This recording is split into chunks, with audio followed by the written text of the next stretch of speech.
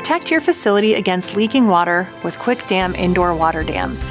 Water dams can be used to block water from entering under doorways, garages and bay doors, wrap them around leaking pipes and equipment, control appliance overflows and leaks, contain condensation and plumbing issues, control water flow in public areas to prevent slip and falls, and even protect elevator shafts from water intrusions. Water dams are flat and compact for minimal storage and grow to full size when wet. Their long lengths are ideal for wrapping and guiding water flow. Be prepared, be protected, and keep Quick Dam water dams on hand.